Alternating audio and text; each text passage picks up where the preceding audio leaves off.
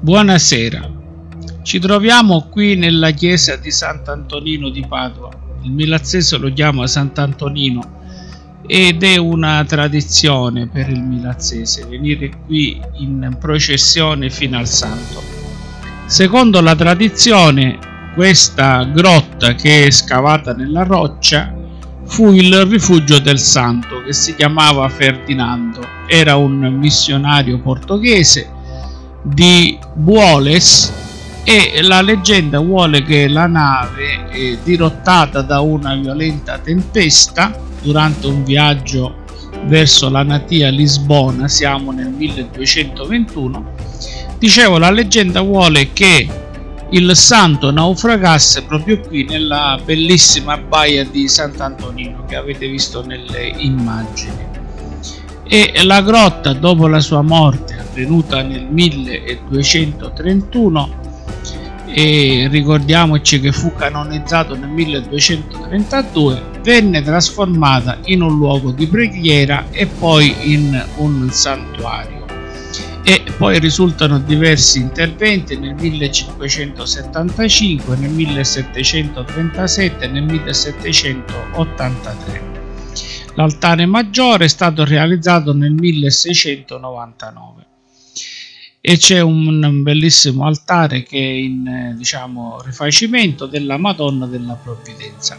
La tradizione vuole che la sera del 12 tra eh, il 12 e il 13 i giovani si rechino in pellegrinaggio per eh, la visita al santo. Grazie e buona visione.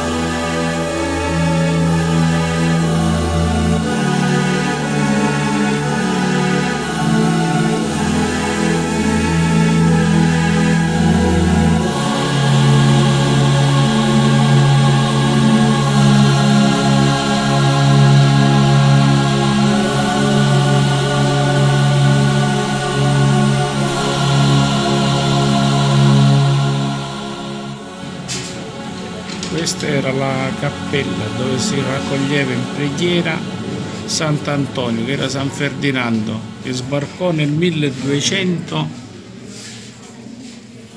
circa 1230 come vedete la, è una, una nicchia scavata nella roccia che volge verso oriente